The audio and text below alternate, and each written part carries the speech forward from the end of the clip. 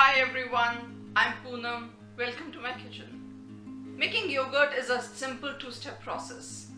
Heat the milk, add culture and put it at a warm, undisturbed place. And the yogurt is ready. But why do it at home when we have so much variety available out there in the stores? When I make yogurt at home, I get to choose what milk I put into it. Whether I'm using whole milk, 2%, 1% or fat-free. Whether I'm using organic or regular. Here I have 3 cups of whole milk in a pan. I wet the pan before pouring in the milk. This prevents burning of the milk at the bottom. I'll switch the heat to medium and heat the milk. I usually do this in the microwave. It takes almost four and a half minutes for 3 cups of milk to get to a temperature around 190 195 degrees Fahrenheit. That is the temperature at which the proteins in the milk alter their nature so that they can coagulate in the presence of the good bacteria that we introduce by putting in the starter culture. The milk seems to be ready now. I can see steam coming out of it and I can see these small bubbles at the edge of the pan. So this is an indication that the milk has reached a temperature of around 80 degrees Celsius. I'll switch off the heat for now and transfer the milk to the pan in which I plan to set the yogurt. The milk is cooling in this bowl and I'll bring this down to a temperature of around 40 to 45 degrees Celsius or 110 to 120 degrees Fahrenheit. But how do I know that the milk has reached that temperature?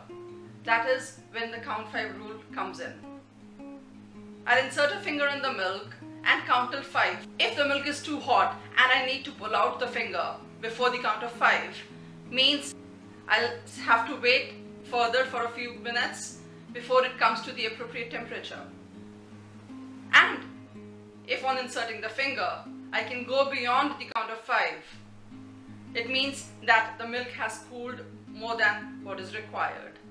So I'll need to heat that milk again, maybe a few more degrees. So at that moment, I'll add the culture.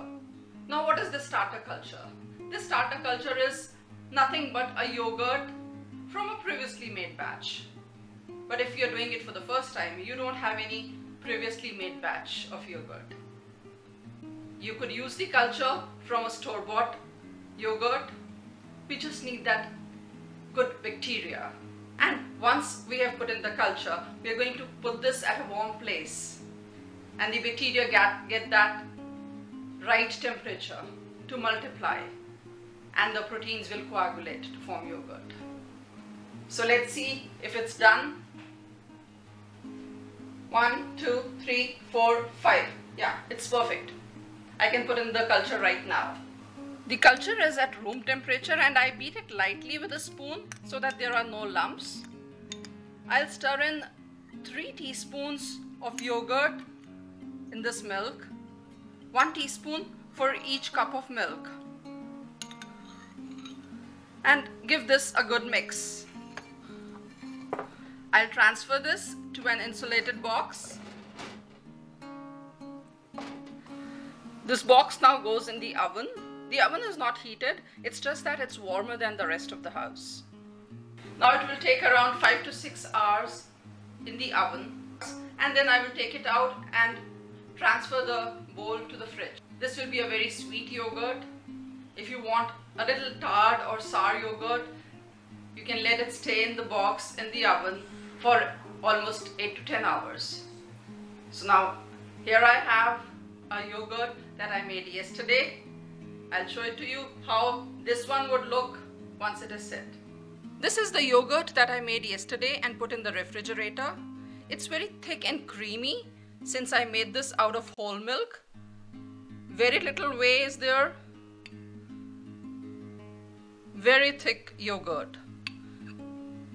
Now I'm going to make strained yogurt out of this. To make strained yogurt, I need muslin cloth or cheesecloth. Then I need a strainer and I need a bowl. A bowl big enough so that when the strainer is put on the bowl, it does not touch at the bottom. To make strained yogurt, I have taken a piece of cheesecloth and doubled it. I'll put this on top of the strainer and set the strainer on the bowl. I'll transfer all the yogurt on this cheesecloth. The whey will get separated and go down into the bowl and thick yogurt will stay on the cheesecloth. The whey has already started separating. If you plan to make Greek yogurt, allow this on the strainer for at least 8 to 10 hours or say overnight on the kitchen shelf and start with sour yogurt. If you want sweet yogurt, allow the yogurt to strain for 2 to 3 hours and put this whole setup in the refrigerator. Here I have yogurt that I strained 3 hours ago. I have thick yogurt on top of the cheesecloth. All the whey has collected in this bowl. This whey is very healthy.